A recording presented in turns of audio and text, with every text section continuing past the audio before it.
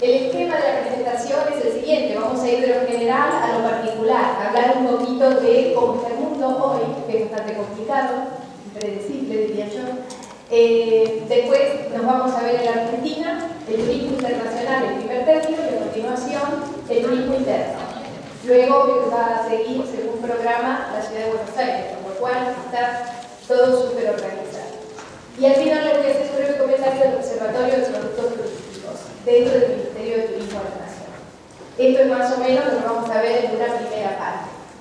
Eh, si tomamos en cuenta cómo ha ido evolucionando los ingresos eh, o las llegadas de pasajeros en el mundo, vemos que, bueno, con algunas caídas que ya todos conocemos, la crisis del 2003, la crisis del 2009, sumado a la gripe A, etcétera, y todos temas que en otras ponencias ustedes seguramente vienen escuchando, estamos en los 935 millones de arribos en el año 2010, al final del año 2010, eh, siempre con tendencias ascendentes. Allá por el 2005 la OMT presentó el panorama 2020, en ese momento estábamos en 800 millones de pasajeros. En el 2010 estamos 935, la tendencia había marcado 1000, con lo cual no estaba nada desacertado. Y la tendencia al 2020, ahí lo ven 1.6, eh, habrá que revisarlo y a mí me gustaría que sea un foro de tendencias dentro de unos añitos. Eh, bueno, sinceramente, adelantarse a esto es hacer casi astrología turística, como digo yo, y es bastante incierto, ¿verdad? Pero para tener una idea de qué es lo que venimos manejando en datos y en nos contaba que los que más iban a crecer es el Medio Oriente y hacia este Pacífico, 6.7, 6.5, Europa el que menos crecía, y las Américas ahí en un término intermedio, el 3.8% de crecimiento en llegadas al 2020. Recordemos que Argentina está con 5 millones de pasajeros, de 135 arriba del mundo. ¿Qué pasa en el mundo hoy? El crecimiento desacelerado.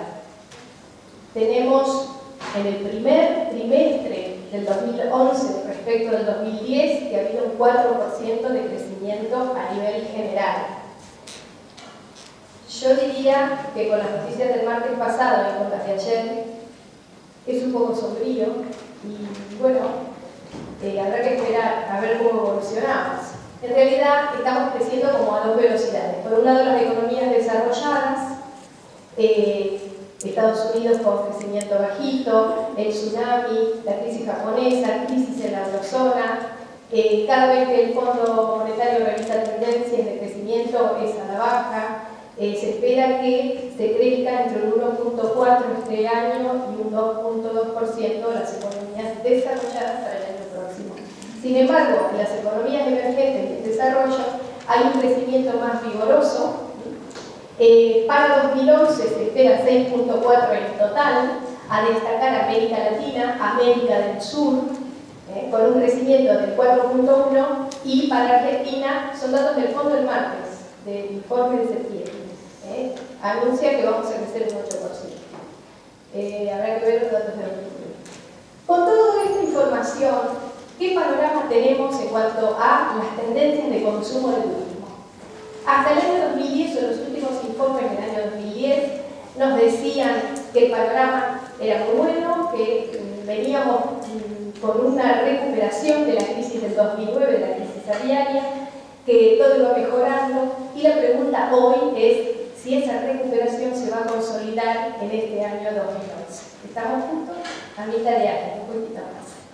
Eh, todo esto que les voy a contar son datos de tendencias de las grandes agrupaciones de agencias de viajes y consultoras, las más grandes consultoras de Alemania, Reino Unido y España, sumados a datos de Amadeus y de la OMT.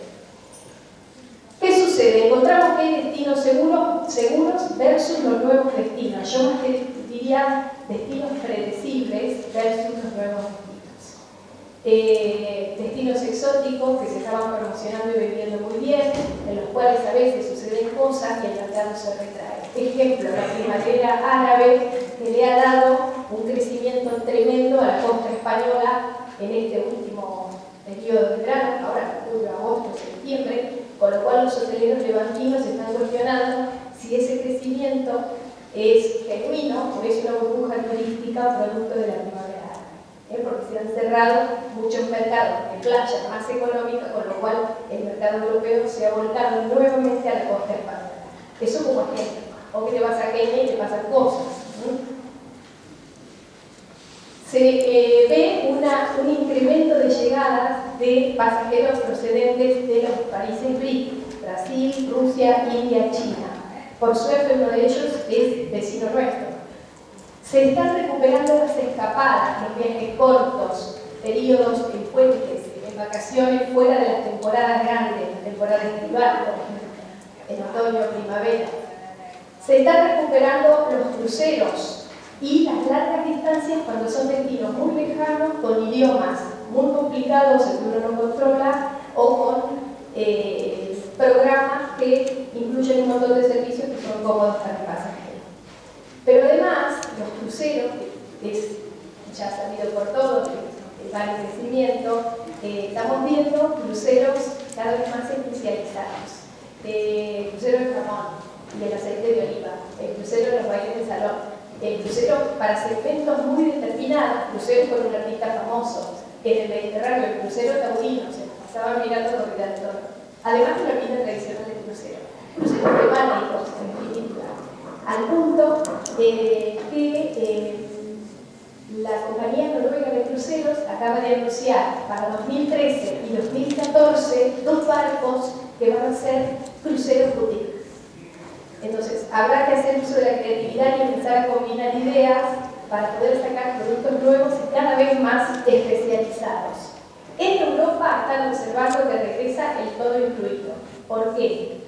Para cuidar el bolsillo. Porque al estar todo incluido, no los paquetes turísticos, sino los programas de todo incluido, eh, para poder controlar el gasto sin dejar de irse de vacaciones.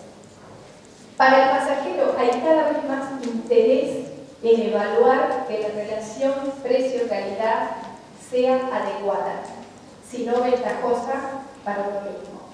Para el empresario turístico comienzan las promociones muy segmentadas, muy especializadas, eh, promociones de última hora, eh, promociones muy dirigidas a través de diferentes redes para captar pasajeros. Hay mucha diferenciación cada vez más en segmentos muy específicos, con lo cual la tendencia es cada vez a diversificarse más y yo diría a especializarse. Amadeus nos habla del viajero experto. Ya estamos viendo, incluso aquí, los viajeros digitales, muy especializados en lo que son comunicaciones en soportes portátiles. ¿eh? Ya no es internet con la computadora, sino los dispositivos portátiles poder bajar un código QR con una guía de la ciudad, poder apuntarme al centro comercial y que me salga referenciado dónde están las mejores ofertas, o cuál es el McDonald's o la boca de metro más cercano. Y también Amadeus habla del viaje interactivo. Ustedes saben que, esto lo hemos estudiado, el pasajero se informa, planifica el viaje, compara los precios y ya no lo hace solo en una computadora, sino que interactúa con gente que le da referencias, le aconseja, pregunta y repregunta para asegurarse que lo que está comprando es realmente lo que quiere.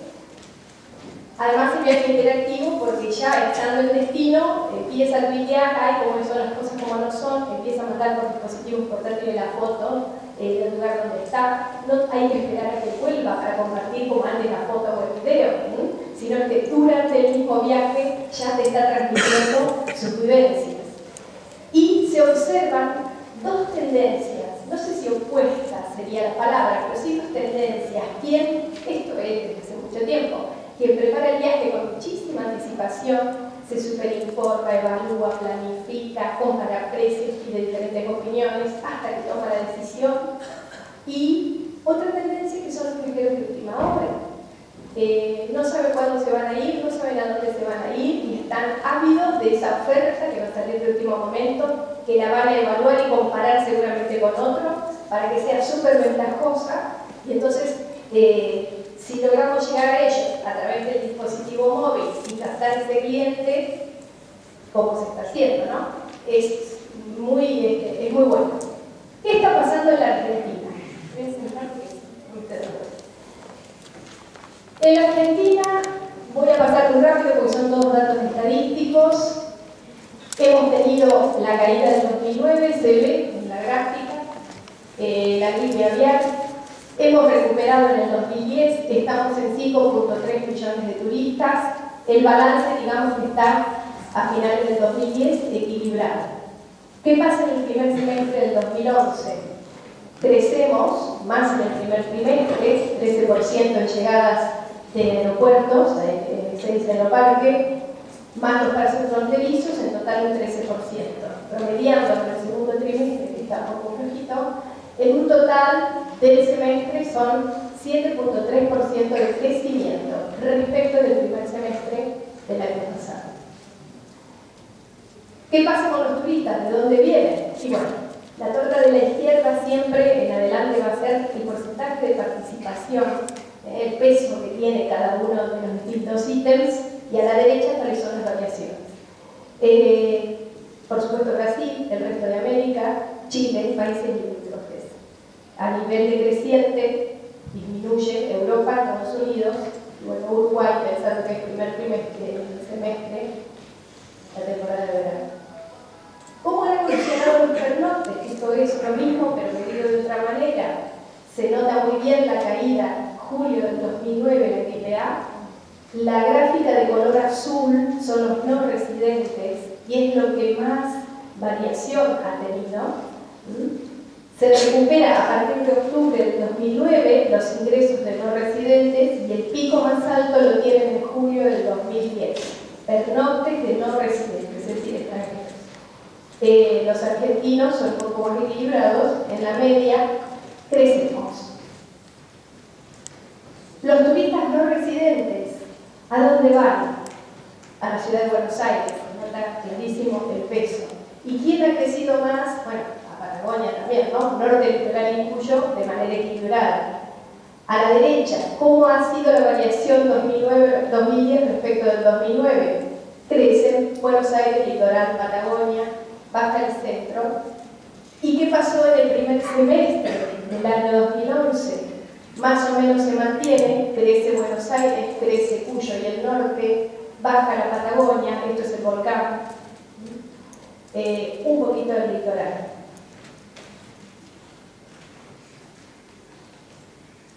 Los pernoctes en el primer semestre, la diferencia entre residentes y no residentes. Eh, los no residentes, es decir, los extranjeros, casi no tienen variación, sí los residentes. Los argentinos viajan un poquito más. Primer semestre del 2011 respecto del primer semestre del 2010. Yo quiero decirles que todos estos datos estadísticos los elabora el Departamento de Estadística. Hay que tomarlos de manera, en algunos casos, relativa, porque recoge la información de cada uno de los destinos turísticos de cada una de las provincias que tienen diferentes sistemas de toma de datos. Se procesan y se vuelcan en estas gráficas que estadísticas generan. Entonces, bueno, a veces, por el que dice, no, pero como si Patagonia estaba todo vacío, acá está, sé, bueno, eh, hay que evaluar de dónde viene la información y cómo fue procesada. ¿Qué pasa con los residentes? Según la región de origen, disminuye muchísimo Europa, el 9% en este, en este año pasado, América del Norte, y crecen los países limítrofes y el resto de América. Ustedes saben que el Ministerio de Turismo de Nación toma la ETI, la encuesta de turismo internacional, y en la ETI del 2010, del año completo, se han observado unas características muy puntuales, por ejemplo, que las vacaciones y congresos y conferencias como motivo de viaje crecen un 37% y un 47% al consultarle a la gente cuál es el motivo de su viaje. Que aumentan las estancias en hoteles de 4 y 5 estrellas. Y que la mayoría de la gente viene a su aire, como dicen en España, yo he tenido muchos años en España, a su aire por su cuenta y disminuye el paquete turístico. Pasajeros internacionales. ¿eh? ¿Qué hacen los turistas extranjeros cuando vienen a la Argentina? Yo les quiero confesar que el gráfico la primera hacen otros. Ah, ¿cómo otros? Hacen, lo, más, lo que más hacen es otros. ¿Qué contiene otros? La parte cultural, entradas de espectáculos. culturales, deportivos, recitales, entradas de teatro, cine, y ir de compras, eh, otros. Con lo cual, esto es una asignatura pendiente a mejorar en las próximas ETIs, ya lo tenemos asumido. Consume tango, medios, eh, experiencias en medios naturales, van a hacer algo de turismo rural, experiencias vinculadas con el vino, observación de aves. Eso es lo que hicieron en el año 2010. ¿Qué hicieron en el año 2011, ese primer semestre? Más o menos lo mismo. Mucho de otro, con lo cual sigo insistiendo que lo tenemos que descargar. Tango, la naturaleza, el vino, los establecimientos rurales y las artes. Esto es tal cual, prácticamente el misma, la misma gráfica. ¿Qué pasa en la Argentina con los turistas nacionales? Eso es lo más importante que les quiero contar, los estudios de demanda que tenemos hechos. El turismo de interior aumenta, la variación en el último año ha sido un crecimiento del 7,2, más o menos en Semana Santa, que es más abajo lo, de color violeta, la línea es horizontal, y un poquito de crecimiento en la temporada invernal y otro poco en la temporada de verano. ¿A dónde van los turistas argentinos? Lo que más ha crecido, el norte, la ciudad de Buenos Aires, la provincia de Buenos Aires y la Patagonia. Eso el año pasado. Primer semestre de este año, de nuevo se nos cae la Patagonia por el volcán. Un poquito disminuye la provincia de Buenos Aires, no se olviden que el primer semestre incluye las vacaciones de verano en la costa y eh, la Semana Santa. Crece el resto de las regiones. Eh, los turistas, según el origen de dónde salen estos turistas, básicamente de la ciudad de Buenos Aires y los partidos del conurbano bonaerense y del resto de la provincia de Buenos Aires. El 42 más el 15%, es más del 50%. Eh, la variación el año pasado es que ha aumentado incluso el resto de Buenos Aires y, bueno, y el resto de las regiones en UCB. ¿Qué pasó en la temporada de invierno? Eh, son datos de junio y julio estaría agosto, que puede marcar otra diferencia o tendencia. Eh, ahí tienen comparados los años. En el total se ha crecido un 7%, cortando los meses de junio y julio. Eh, en junio, un poquito menos, 7,9, eh, un poquito más, 7,9, y en julio, 6,6. Cuando tengamos la temporada completa medida, ya tendremos un panorama de cómo ha estado la temporada de invierno en Argentina. ¿Qué pasó en los puentes? ¿La gente sale en los puentes? Sí. ¿Aumentan las salidas de los puentes? Sí. En el 20 de junio un 18% respecto del año pasado y en el 17 de agosto un 5%. En definitiva, eh, comentarles que desde Mitur también se toma la encuesta de viajes eh, en hogares Hubo una primera toma en el año 2006 y eh, la otra que es del año 2010. Son 25.000 encuestas que se hacen y comparando el año 2006, que es lo, anterior, con la de este año, el pasado, 2010, se puede ver si en retroceso. Todavía marcar una tendencia es complicado. Eso cuando tengamos más información. Pero sí se puede ver que más gente hace por lo menos un viaje al año, de 32,9 al 41,9. Y disminuye la gente que no ha viajado. Esto es muy interesante porque es una gráfica por quintiles. Ustedes saben que la población se reparte, cada quintil tiene 20% de población de acuerdo a sus ingresos. Eh, con lo cual, si comparamos la encuesta de viajes y hogares, sobre todo enero, que es muy representativo, del 2006 con el 2011, el quintil 5, es decir, la gente con mayores ingresos, hizo un viaje del 25%, 25.7 en el 2006. En el 2011, 37.8. Aumentan los viajes de la gente de mayor poder adquisitivo. Pero el quintil 1, que es el de menor poder adquisitivo, ha hecho un viaje, el 4.4, en 2006 y el 9.1 en el 2011. Es decir, todo el mundo está viajando. Y si te vas a febrero, es más notable todavía, porque hemos pasado en el quintil 1 del 3.2 al 9.1 en el quintil 1. Carnavales. Eh, y las personas de mayores ingresos también aumentan eh, sus, sus viajes. Eso para hacer un detalle, ¿no? ¿Qué pasa en el total? Bueno, en el primer semestre del año, eh, trimestre del año 2011, ahí quién gana? La provincia de Buenos Aires interior. La barra verde que dice 40.0 indica la cantidad de crecimiento de los arribos a la provincia, que es la costa atlántica, y cuánto han crecido las salidas, 8.0. Eh, claramente la provincia de Buenos Aires incrementa ingresos mientras que las salidas son muy pocas. Ciudad de Buenos Aires y partidos de Gran Buenos Aires tienen más salidas que ingresos. Enero, febrero, vacaciones de verano. También crece el centro. ¿Qué hacen los turistas argentinos cuando salen de vacaciones? Yo pido disculpas por la letra, no la tuvimos que gastar más, pues se cuadraba todo. Se fueron a la playa, 50% o más. Un poco menos, 34% visita a atractivos naturales.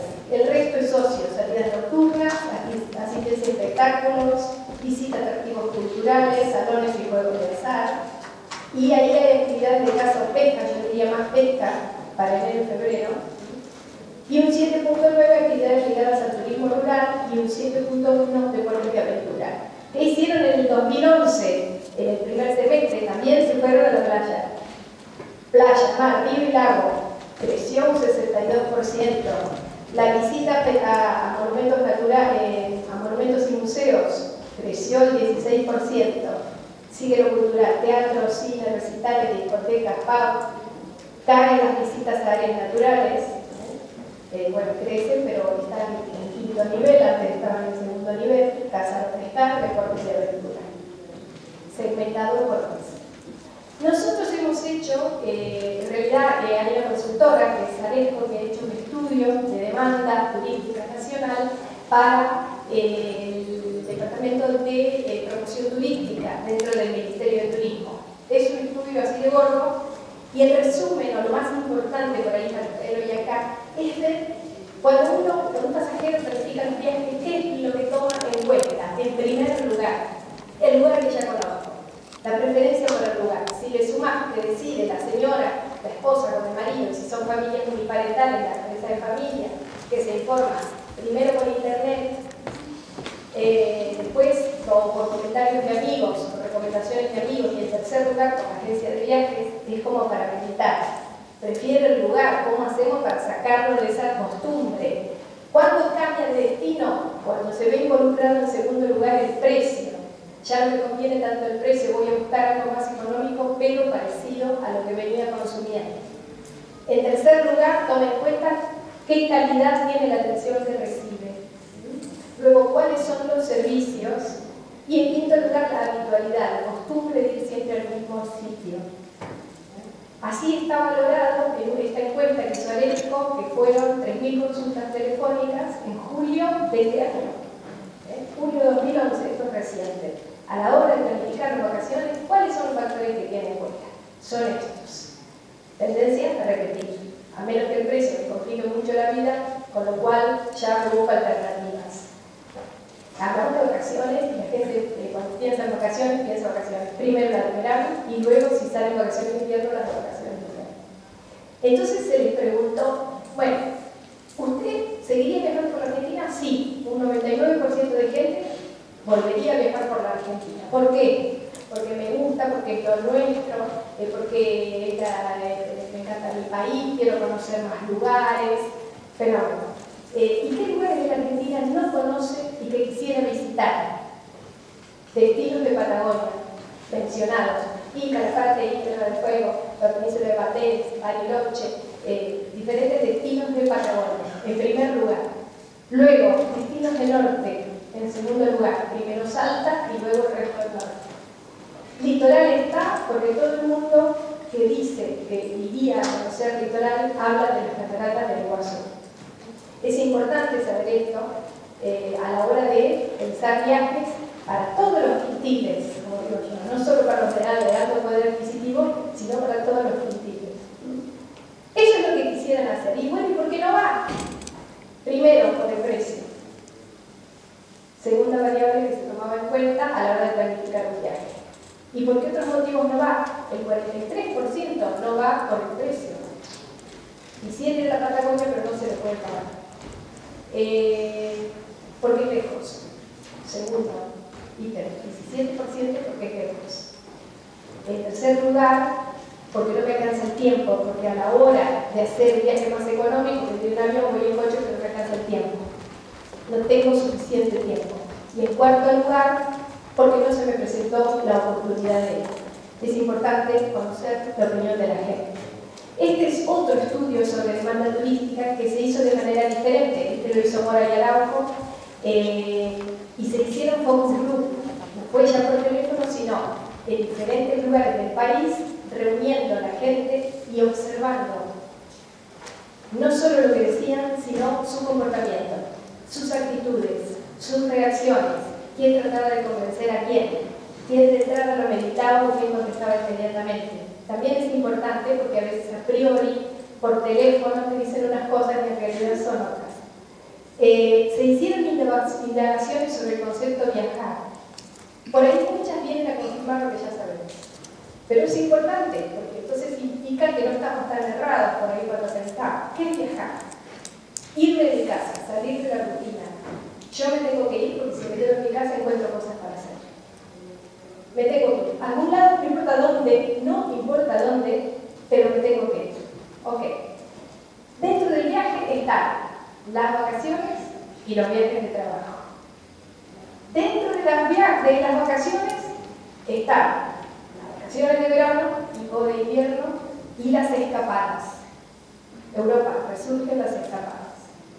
Las escapadas cortas, viajes de corta duración, fuertes. ¿Qué busca usted cuando sale de viaje? Las tres D que nos enseñaron la facultad. Desconectar, salirse de la rutina, divertirse, pasarla bien y desarrollarse. Conocer, conocer gente, conocer lugares nuevos, conocer otras culturas, interactuar, las tres D de toda la vida. Viaje es lo lindo. ¿Y qué es lo, que es lo feo del viaje? ¿Qué es lo que le preocupa y que le molesta del viaje? La ruta. La ruta. Ir. Y la ruta volver de cuento. Porque encima está volviendo a la rutina. ¿Qué más es displacer o es feo o le complica el viaje?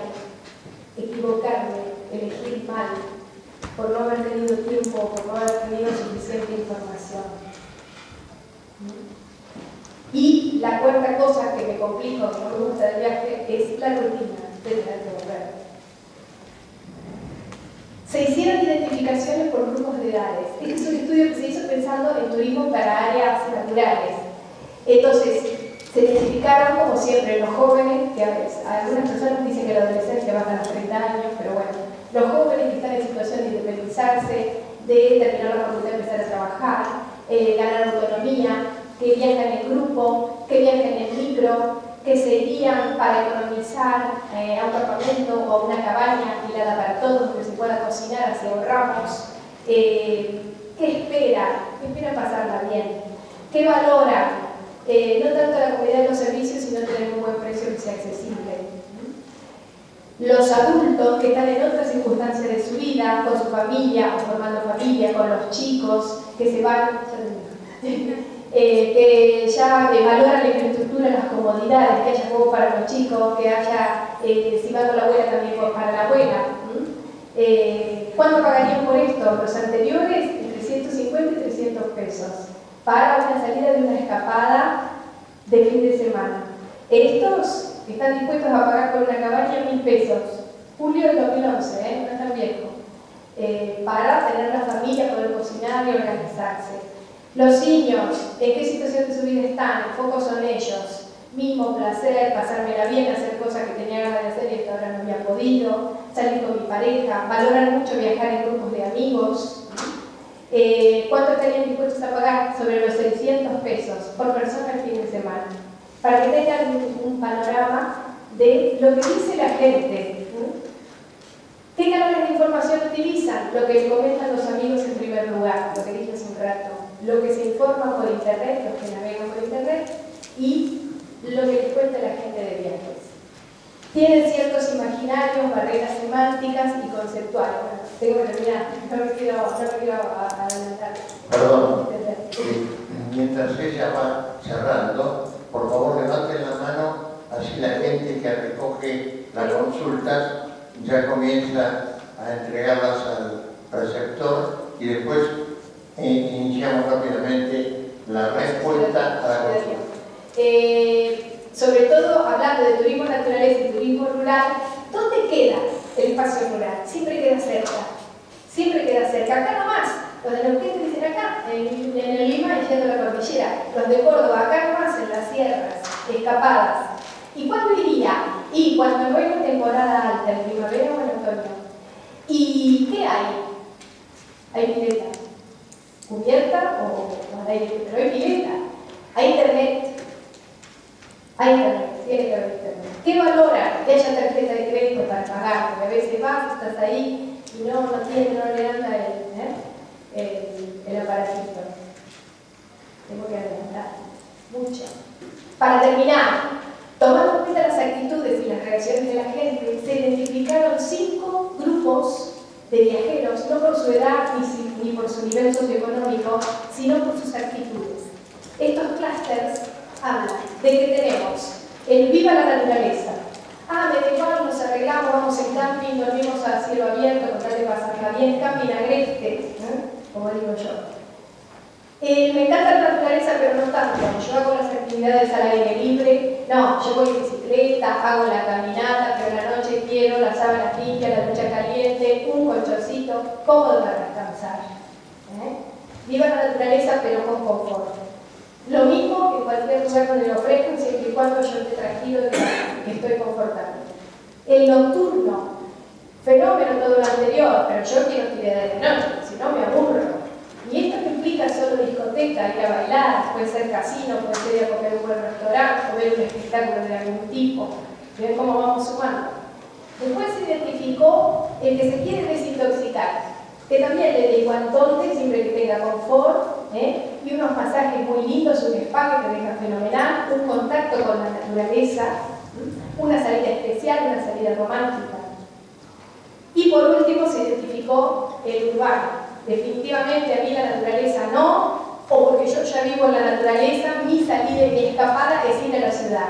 Compras, cine, espectáculos, eh, pasar eh, actividades culturales en general. Qué horror el olor a gallinero, dijo una, eh, o. Ay, no, qué horror. Eh, yo voy a la naturaleza y al campo. Como ven, hay de todo en la viña del Señor que se puede preparar salidas, escapadas para un montón de pasajeros con diferentes características. Termino, me puse ahí unos binoculares para contarles, a raíz de lo de otras actividades, que en el Ministerio se está eh, replanteando el Observatorio de Productos Turísticos. Eh, el observatorio ya existe y hace trabajos de investigación sobre determinados productos turísticos. La idea es dinamizarlo, se está trabajando un documento de base y en un sistema operativo que en el futuro será, sea accesible para todo el mundo, donde se pueda consultar en cualquier momento online datos y características, no solo cualitativas, que es lo que yo he estado contando, sino también cuantitativas sobre los diferentes productos turísticos que tenemos en la Argentina. Esto es súper importante, porque a la hora de tomar una decisión, teniendo la información a mano, tener que estar pidiéndosela a alguien, va a ser muy útil va a estar ahí, quien quiera la usa, quien quiera no, se puede ayudar a decidir cosas. Cuando el mundo va cambiando cada vez más rápido, el pasajero nos pide cada vez más cosas y nos estamos apartando de la masa, o esto es lo que yo tengo para ofrecer como paquete turístico, a usted señor, nombre y apellido, le gusta esto, no le gusta otro. Yo he estado, como dijo este, Antonio, muchos años en España y así todo allá, yo siempre decía, los agentes de viajes argentinos saben mucho, son muy especializados y hace mucho tiempo que vienen trabajando en la personalización de los viajes. ¿eh? Yo también he sido agente de viajes en Argentina. Con lo cual, creo que en otros lados también hay mucho por aprender. Muchas gracias, espero haber aportado algo o haber este, hecho pensar algo. Gracias por la invitación a la por la organización de esta jornada, que siempre es interesante poder realizarla y poder participar del lado del, del gobierno de la ciudad.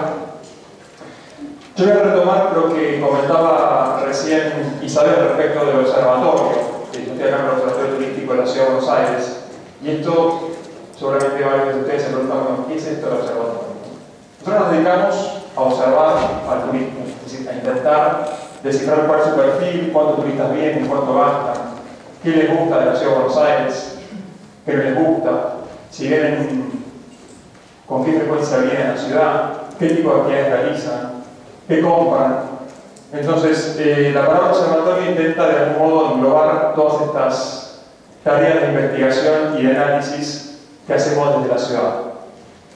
Algunas de las tendencias, obviamente, de la ciudad de Buenos Aires se marcan en las tendencias de la República Argentina, la mayoría de ellas.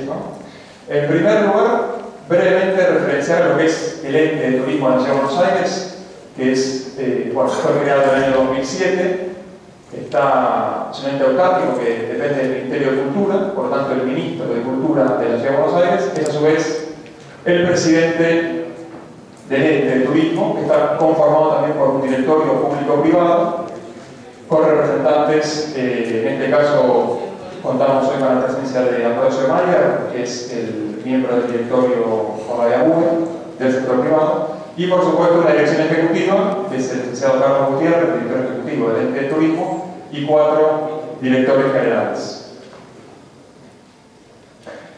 Para ir hablando de las tendencias del turismo en la ciudad, siempre es importante recordar que la ciudad de Buenos Aires, cuál es la importancia que tiene la cultura para sus habitantes y para los turistas, y por supuesto cuáles son las principales, los principales reconocimientos que tuvo y tiene la ciudad en estos tiempos. En primer lugar, el tango, claramente identificado como patrimonio cultural de la humanidad por la UNESCO en el 2009.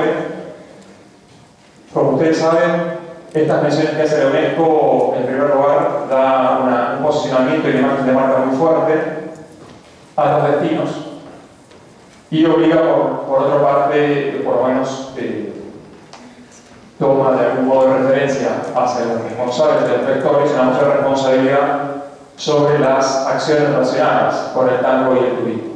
Y por otro lado, Buenos Aires este año está celebrando, eh, es, ha sido designada la capital mundial del libro, 2011 también por UNESCO, donde ha habido una infinidad de acciones relacionadas con la materia, no solamente en la Feria del Libro de nuevo, fue en abril, sino a lo largo de todo el año con conferencias, seminarios, edición de nuevas publicaciones.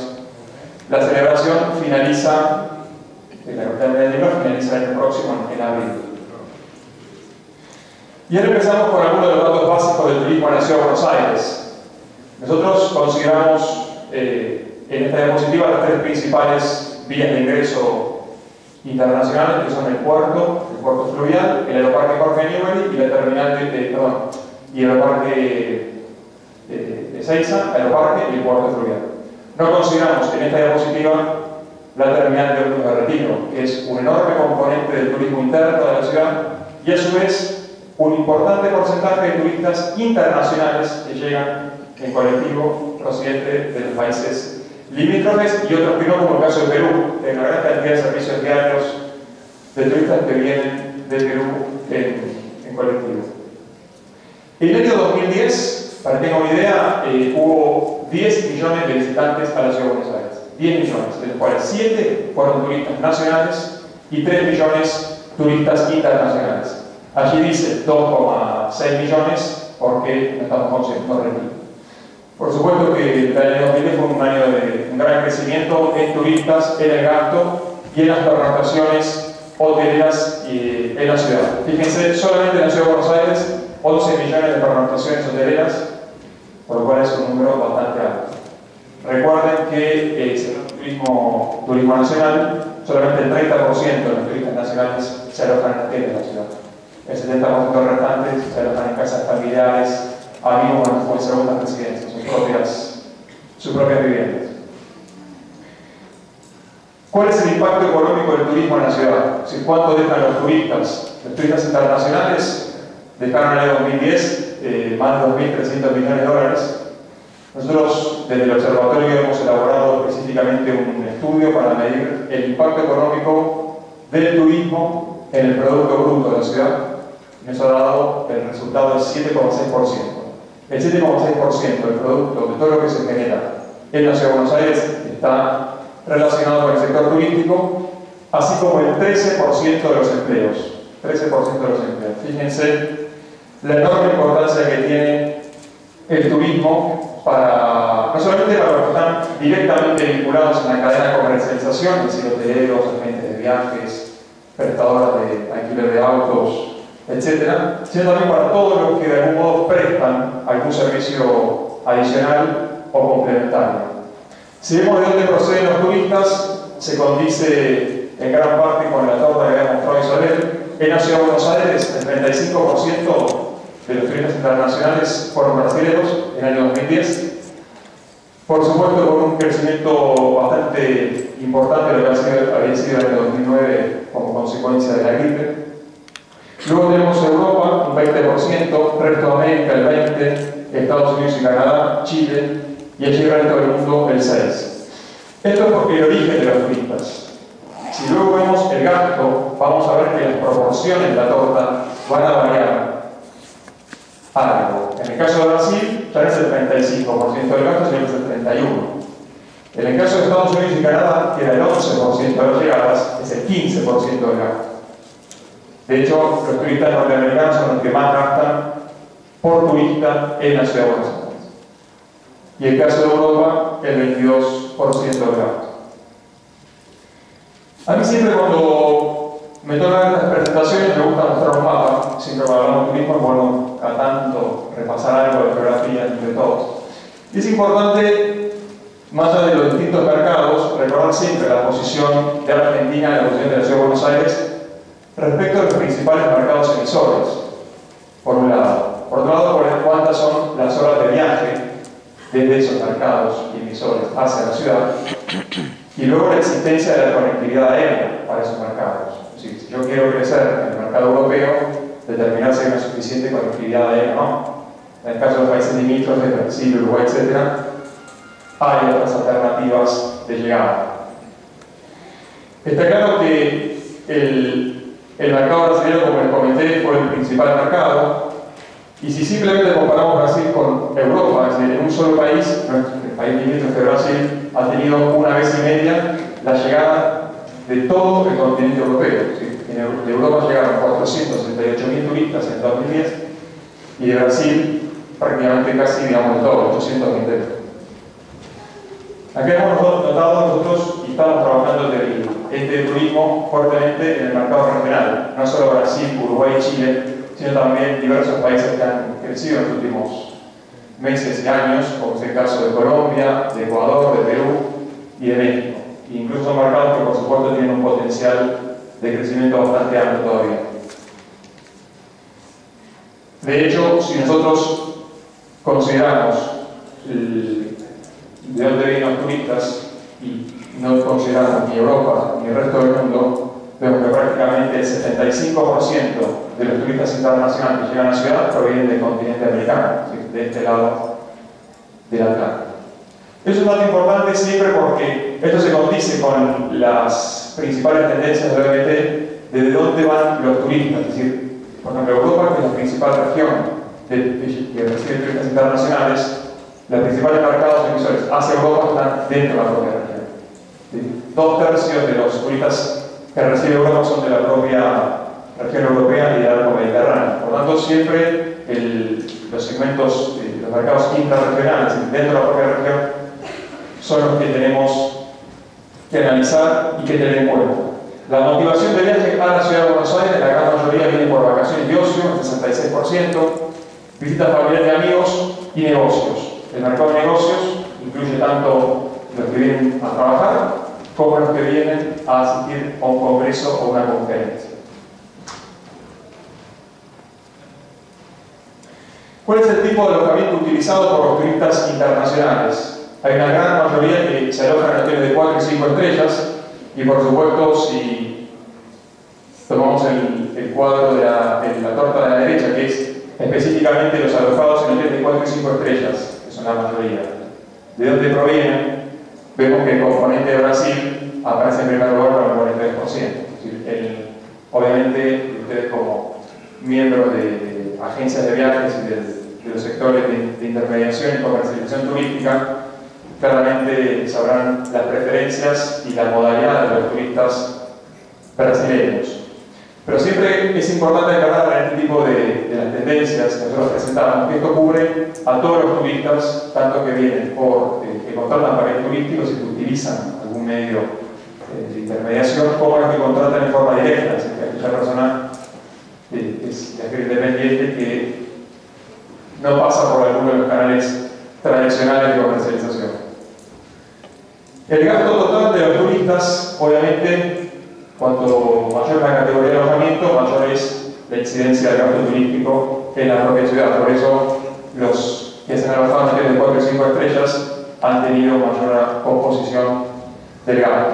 Y Brasil, nuevamente, con el 38%, ha representado ese segmento en los turistas que se alojaron en hoteles de 4 y 5 estrellas.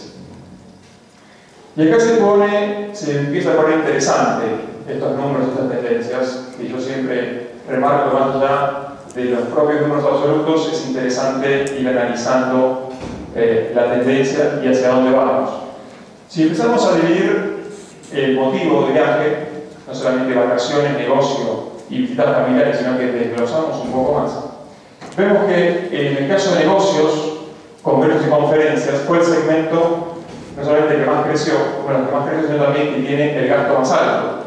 Seguido por el que viene un opina por negocio la ciudad por motivo de trabajo.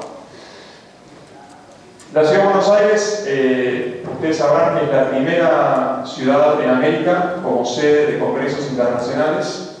Esto no lo decimos nosotros desde el de turismo, sino que lo dice la ICA, la International Congress and Convention Association que es el organismo que de algún modo mide la celebración de congresos y convenciones a nivel mundial y que ha determinado que en el año 2010 Buenos Aires fue la primera ciudad en, América en celebración de congresos y convenciones internacionales. Por lo tanto, ese es un dato desde el punto de vista de los segmentos muy importante. Cuál fue el crecimiento. ¿Cuánto crecieron esos segmentos por motivación en el 2010 respecto al 2009? Congresos y conferencias fue el segmento que más creció, y luego aquí está la variante estudio. Ustedes saben, y si no se los comento, hay una enorme cantidad de turistas y de alumnos extranjeros estudiando en las universidades de Buenos Aires. Hay más de 60.000 60 alumnos extranjeros estudiando no solamente la carrera de grado, sino también la carrera de posgrado, cursos de español, eh, terciarios, ya sea eh, que tienen vienen de universidades que tienen un convenio específico entre universidades argentinas y universidades extranjeras, o que directamente se llama vienen sin convenio, es decir, un alumno que quiere hacer un semestre en la Universidad de Buenos Aires, se mete en internet, ve cuál es la oferta académica que ofrece esa universidad y directamente contacta a ese centro de estudio. Desde el ente de turismo, nosotros lo que hemos hecho, hemos creado un programa de turismo educativo específicamente para atender este segmento estamos trabajando en forma conjunta, por un lado con las universidades que ofrecen eh, carreras de grado y posgrado, y por otro lado con eh, las escuelas de idiomas. La semana próxima se realiza en Valparaíso, en Chile, un congreso de turismo idiomático, donde, un congreso internacional de turismo idiomático, donde estamos asistiendo desde la Ciudad de Buenos Aires con las principales escuelas de idiomas de enseñanza del español que tienen que ser aquí, y por lo tanto es una de las acciones específicas en virtud de estos números, porque siempre es importante verdad, nosotros intentamos medir la importancia del turismo, reflejar cuál es el comportamiento del turista, qué es lo que piensa, y los estudios y las investigaciones no las hacemos para guardarlas en un cajón, ni para que acumulen polvo en las bibliotecas, sino justamente para transformar una acción, transformar estrategias en orientación y políticas activas de marketing para reorientar los mercados, fortalecer los mercados que hagan que el cual sea necesario y siempre teniendo en cuenta hacia dónde van las tendencias en el mundo. algunas cuales mencionó Isabel, que de paso les comento, eh, que la ya está trabajando en las tendencias a 2030, este, que si al 2020 había algunas diferencias, veremos cuáles son las tendencias al 2030, pero ya están trabajando en eso, obviamente ajustando un poco las variables de los indicadores que habían utilizado en el año 95 para usar de base. Pero bueno, veremos eh, algunos resultados. este gráfico simplemente eh, mide turistas y participaciones en la ciudad de Buenos Aires. Allí, en julio del 2009, que es el pico descendente, claramente fue el de la gripe Pero es un gráfico interesante porque permite recordar la poca estacionalidad que tiene la ciudad de Buenos Aires. La ciudad de Buenos Aires como región no es una, no es una ciudad, no es una región que tenga una marcada estacionalidad como sí sucede en otras regiones del país. Nosotros, como les comenté, tenemos 7 millones de turistas nacionales. Estamos en este momento elaborando una encuesta de turismo interno en la terminal de, de Retiro. Y uno de los principales resultados que nos arroja es la gran eh, repetición que tiene el turista que viene a la ciudad. Es decir, más del 40% de los turistas que importamos vienen seis veces o más por año a la ciudad de. Nosotros los llamamos turistas fanáticos de Buenos Aires. De algún modo, porque bueno, cualquier persona, cualquiera de nosotros, lleva seis veces o más al año a cualquier destino, de algún modo, el destino, por supuesto, ya no tiene para ofrecerle. Nosotros también eh, le preguntamos a los turistas qué es lo mejor que tiene la ciudad. ¿Y usted qué piensa que contesta? ¿Qué es lo mejor que tiene la ciudad de Buenos Aires? ¿Alguien se llama a la respuesta? ¿Qué es lo mejor que tiene? Si ustedes fueran turistas y vinieran, a la ciudad de Buenos Aires. La gente. La gente. Bueno, la gente está en segundo lugar. En primer lugar es la actividad cultural. Justamente en este vínculo entre turismo y cultura, nosotros trabajamos desde el ente de turismo y cultura, se destaca la enorme oferta cultural que tiene la ciudad, que pone a disposición una infinita variedad de espectáculos. Justamente este, hoy comienza el Festival Internacional de Teatro en la Ciudad de Buenos Aires y nosotros desde el observatorio vamos a realizar una serie de encuestas a los turistas nacionales e internacionales que asisten. Porque de algún modo lo que hemos intentado es ver esta demanda cultural de los turistas e intentar aproximar, aproximarnos eh, cada vez más hacia cuál es su perfil. Por eso también elaboramos eh, estudios sobre los turistas que asisten a los museos y turistas que asisten a los espectáculos culturales en la ciudad de Buenos Aires. Increíblemente, esto nunca se había hecho antes. Y de lo que es en historia, de algún modo decirlo, que la ciudad de Buenos Aires encarga un estudio del turismo cultural, intentando determinar el perfil de los turistas que asisten a los museos y los turistas que asisten a los espectáculos. Hay, una eh, gran cantidad de personas que, así lo hacen y las encuestas así lo dan. Lo mejor que tiene la ciudad es la actividad cultural y lo segundo es la gente. La gente por el trato amable y cordial, quizás para nosotros que vivimos aquí todos los días, no es, no es quizá lo más este, llamativo, pero, pero así lo. Y yo brevemente, para ir cerrando, porque hay que cumplir con los tiempos, eh, sigo recordando y haciendo este vínculo entre turismo y cultura y cuál es la oferta cultural de la ciudad. Eh, por supuesto que cuando uno ve estos números se los presenta a nivel internacional, los, los operadores y los responsables de turismo en distintas partes del mundo se quedan realmente asombrados con la gran cantidad de museos, teatros, librerías, galerías de arte. Bueno, también entonces comienza la Semana de Arte, que es otra de, las grandes, eh, de los grandes eventos que tiene la Ciudad de Buenos Aires. Allí dice 10 centros culturales, en realidad son muchos más. 10 son los grandes, el Centro Cultural Recoleta, el Centro Cultural San Martín, pero después hay más de 40 centros culturales barriales. En eventos internacionales de turismo cultural, el Festival Internacional del Casco, el Festival de Jazz, el Festival de Internacional Teatro que comienza hoy, para nombrarle algunos.